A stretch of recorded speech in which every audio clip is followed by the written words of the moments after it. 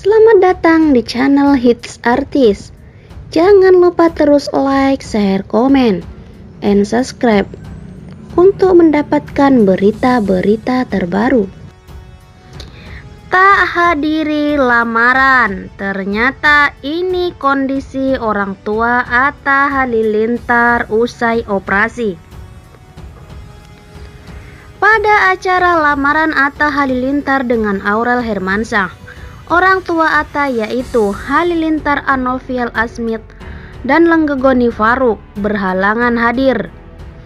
Atta ditemani paman dan bibinya serta adiknya Tarik. Rupanya, orang tua Atta baru menjalani operasi besar. Hal ini diungkap oleh adik-adik Atta Halilintar, Sajidah, anak ketiga dari keluarga Halilintar menceritakan sedikit apa yang dialami orang tua mereka. Jadi Mommy and Daddy kemarin baru melakukan operasi besar ya guys. Awalnya, Mommy and Daddy check up. Mereka kan check up terus buat kesehatan, ucapnya. Dan jadwal check up dengan dokter ini memang susah, timpal seai halilintar.